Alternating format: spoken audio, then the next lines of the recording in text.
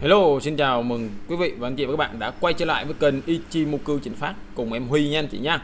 Thì hôm nay à, chúng ta sẽ cùng nhau đi à, phân tích và đánh giá về một cái cổ phiếu mà em cho rằng sẽ rất là tiềm năng trong giai đoạn quý 2 sắp tới. Đó là cổ phiếu IDC, công ty tổng công ty Idico. Vậy thì à, cổ phiếu Idico này có điều gì hay thì chúng ta sẽ cùng nhau đi đánh giá trong video ngày hôm nay.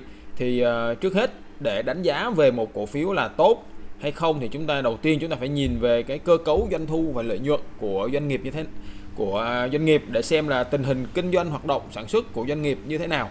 Đấy, thì hầu hết các cổ phiếu ở trên à, thị trường chứng khoán này khi mà có những cái kết quả hoạt động kinh doanh tốt thì nó sẽ thu hút được những cái dòng tiền lớn những cái dòng tiền của những cái à, tổ chức cũng như là những cá mập.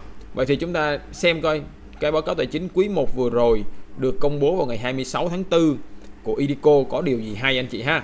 Thì đầu tiên là chúng ta sẽ nhìn về cái mặt doanh thu của Idico thì doanh thu quý 1 à, năm 2024 là đạt được là 2.000 gần 2.500 tỷ. À, cao là gần như là hơn gấp đôi so với cùng kỳ. Đấy anh chị ha. À, về mặt để doanh thu thuần về mặt bán hàng là cũng như vậy. Đấy, tổng lợi nhuận trước thuế là gần 1.000 tỷ cao hơn 200 tỷ của năm 2000 quý 1 2003 coi như là cao hơn là gần như là gấp 4 gấp 5 lần đúng không anh chị? Đấy, 400 phần trăm. Về cái mặt mà lợi nhuận sau thuế của công ty thì cũng đạt là 695 tỷ cao hơn Đấy, cũng hơn là gấp 400 lần. Năm quý 1 2023 là 147 tỷ.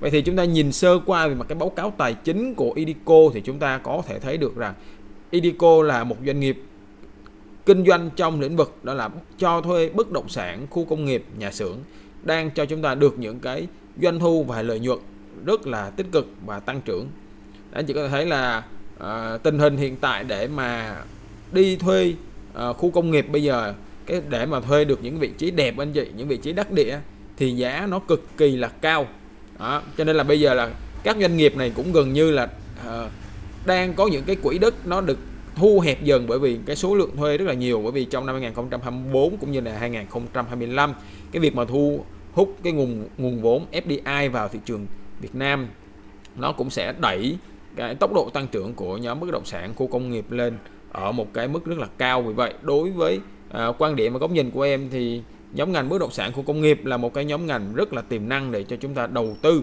ở trong trung và à, dài hạn. Anh chị thấy đúng không? Đấy thì trong cái đợt à, suy giảm vừa rồi thì nhóm bất động sản khu công nghiệp có những cái mức chiết khấu và cái mức giảm giá nó cũng rất là nhẹ nhàng à, nhẹ nhàng hơn so với những cái nhóm ngành khác. Đối với những cái doanh nghiệp mà có cái nền tảng kết quả kinh doanh tốt thì anh chị thấy nó đều phản ánh được à, cái dòng tiền thông minh. Họ rất là hay họ có thể biết được những cái doanh nghiệp làm ăn tốt kinh doanh hiệu quả thì họ sẽ đẩy tiền vào và họ không có yếu tố là bán ra. Cho nên là cái việc giảm giá của cổ phiếu nó chỉ chủ yếu đến từ việc nhà đầu tư cá nhân họ chốt lời hoặc là họ có những cái động thái lo sợ về thị trường chung, họ cắt lỗ. Còn dòng tiền lớn thì họ vẫn trú ngụ lại đối với những cái cổ phiếu như vậy. Thì đó là những cái cổ phiếu mà chúng ta hết sức đáng quan tâm và lưu ý trong thời gian sắp tới. Đấy, vậy thì chúng ta thấy là cái mặt kết quả kinh doanh của doanh nghiệp à, của Idico này rất là tốt rồi. Vậy thì chúng ta cần xem xét một cái yếu tố thứ hai, đó là cái kế hoạch kinh doanh trong năm 2024 của ban lãnh đạo đề ra đối với Idico là như thế nào và liệu rằng Idico có khả năng hoàn thành được 100% thậm chí là vượt chỉ tiêu kế hoạch đề ra hay không anh chị ha? Rồi chúng ta sẽ à, đi à, vào cái kế hoạch kinh doanh. À, thì à, vào ngày 5 tháng 4 thì ra một cái bài báo về là Idico lên kế hoạch doanh thu 2024 cao kỷ lục cổ tức 40% bằng tiền chuẩn bị quỹ đất 2.000 hecta tại Hải Phòng và Ninh Bình. Đấy. chúng ta có thấy là cái kế hoạch kinh doanh của Idico rất là tốt. Đấy. và họ cũng đã cho thấy là những cái kế hoạch kinh doanh mà họ đề ra là gần như là đều hoàn thành chỉ tiêu anh chị ha. Đấy, không có một cái sự gọi là hứa leo ở đây. Nói là làm. Đấy, nó khác với một vài cái doanh nghiệp ở trên thị trường chứng khoán. Chỉ thấy hứa mà không thấy làm như vậy. Đối với Idico thì chúng ta có thể thấy được rằng đó là cái việc mà họ đưa ra những cái dự phóng. Đó, kế hoạch về doanh thu và lợi nhuận nó gần như là nó rất là sát sao với lại cái yếu tố thị trường uh, kinh tế hiện tại. Và gần như là họ đạt được 100% những cái chỉ tiêu như vậy thậm chí là còn vượt chỉ tiêu. À, theo đó, à, Tổng công ty Idico mã chứng khoán IDC vừa công bố tài liệu Đại hội cổ đông thường niên 2024. Công ty lên kế hoạch kinh doanh với doanh thu là 8.466 tỷ, lãi trước thuế là 2.500 tỷ, lần lượt tăng 13% và 22% so với kết quả đạt được trong năm ngoái. Tỷ lệ chia cổ tức dự kiến 40%. Đấy, tổng giá trị đầu tư trong năm dự kiến là 3.134 tỷ đồng, tăng 140% so với 2023 tập trung ở các dự án khu công nghiệp tại công ty mẹ và các dự án nhà ở đô thị, khu công nghiệp, thủy điện, năng lượng tại các công ty con do Idico nắm giữ trên 50% vốn điều lệ. À, Idico ước tính cho thuê 145 hecta đất công nghiệp trong năm nay, bao gồm 105 đất hecta ở công ty mẹ và 40 hecta ở công ty con. Đây là phần diện tích thu hút đầu tư mới trong năm, không bao gồm các khoản ghi nhớ đã ký từ năm 2023 chuyển sang. À, ngoài ra công ty đang làm các bước thủ tục pháp lý chuẩn bị tổng quỹ đất khoảng 2 hecta tại Hải Phòng, Ninh Bình và một số địa phương khác. Vậy thì anh chị thấy sẽ cho thuê mới được 145 hecta trong năm 2024. Đấy, bên cạnh đó thì đấy những cái phần mà ghi nhớ đã ký trong năm 2023 đấy mà các đối tác chưa thuê họ chỉ mới ký hoặc là đặt cọc. Đấy, chưa thuê và chưa chuyển hóa được cái phần doanh thu và lợi nhuận này. Nhưng mà khi mà những cái à, biên bản ghi nhớ trong 2023 được thực hiện thì Idico này sẽ thu về được những cái nguồn lợi nhuận. Em nghĩ là rất là đáng khích lệ trong năm nay. Đấy vậy thì chúng ta nhìn lại những gì Idico đã làm được ở trong quý 1 thì nãy em có chia sẻ đấy đó là cái lợi nhuận sau thuế ấy lợi nhuận trước thuế của Idico trong quý 1 là gần 1.000 tỷ đúng không anh chị? Và ở đây chúng ta thấy là ấy, lợi nhuận trước thuế kế hoạch là 2.500 tỷ. Vậy thì chỉ riêng ở trong quý 1 này là Idico đã gần như là hoàn thành là 40% kế hoạch cả năm. Đấy và chúng ta có thể thấy là cái mức mà à, tăng trưởng của Idico trong cái vấn đề đó là kinh doanh hoạt động kinh doanh cốt lõi là cho thuê bất động sản của công nghiệp thì chúng ta thấy nó nó rất là cực kỳ là tích cực. Vậy thì Idico theo góc nhìn của em là một cái cổ phiếu có một cái nền tảng cơ bản rất là tốt anh chị ha. Và à, được gọi là vĩ mô ủng hộ à, về cái việc đó là à, cho thuê đất khu công nghiệp. Đó. Đấy, vậy chúng ta nhìn về cái nền tảng cơ bản của doanh nghiệp là rất là tốt rồi. Thì chúng ta nhìn sang cái đồ thị kỹ thuật. Đấy, Idico là sau một cái nhịp điều chỉnh chung của thị trường ha của một cái nhịp điều chỉnh khoảng 12 13% và sau đó Idico lập tức lấy lại được những cái vùng nền tích lũy. Vậy thì Idico đã có một cái quá trình tích lũy tương đối là dài từ tháng 2 đúng không anh chị? Từ tháng 2 cho tới tháng 5 là 3 tháng rồi. Vậy thì theo góc nhìn của em thì cái đây là một cái nền tích lũy đã đủ để cho một cái quá trình tăng giá mới của Idico. Đấy, Idico là có những cái thời điểm là rũ bỏ anh chị với thanh khoản rất là thấp Đấy, thanh khoản rất là thấp Đấy, chúng ta xem về cái công cụ EG EG này thì là cổ phiếu này nó về, nó test được đúng cái đường giao găm. Và sau đó là nó bật tăng hồi phục lại và nằm trên những cái cái vùng mây rất là đẹp ở đây.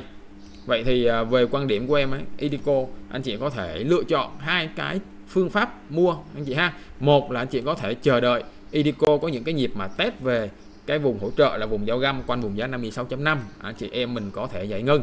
Còn trường hợp thứ hai nếu như Idico không test về những cái vùng hỗ trợ quanh 56.5 mà Idico có những cái động thái bật tăng vượt khỏi cái vùng nền tích lũy kèm theo đó là những cái thanh khoản cao chứng tỏ là tiền vào thì đó là những cái phiên mà anh chị nên quan sát và giải ngân ở trong phiên giao dịch đó đúng không anh chị ha?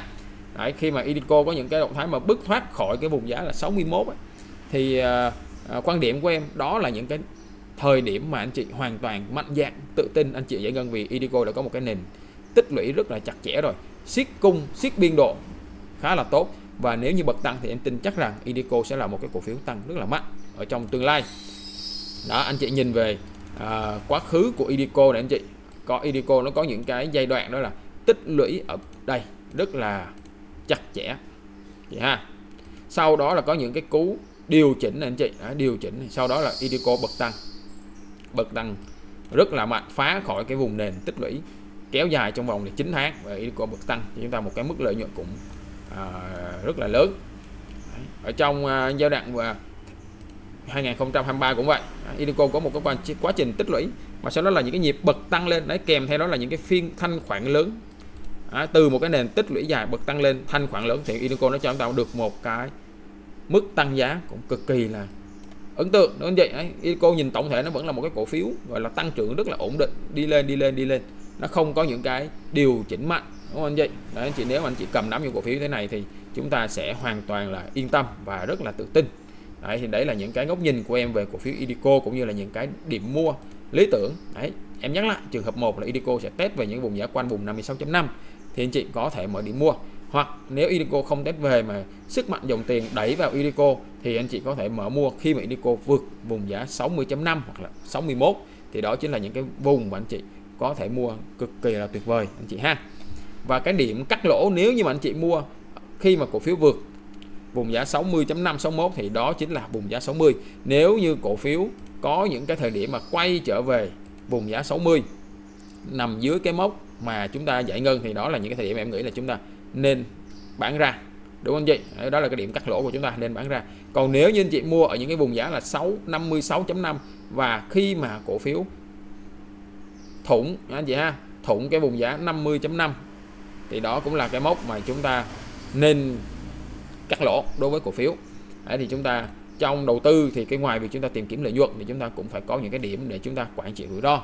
Rồi nếu anh chị nào cảm thấy video này hay thì hãy cho em một nút like và một nút đăng ký kênh à, nếu anh chị nào cảm thấy là cái phương pháp đầu tư của em phù hợp với anh chị thì anh chị hãy à, có thể là liên hệ với em qua cái phần thông tin ở bên dưới phần mô tả để chúng ta có thể là đồng hành với nhau. Rồi xin chào và hẹn gặp lại anh chị trong những video kế tiếp.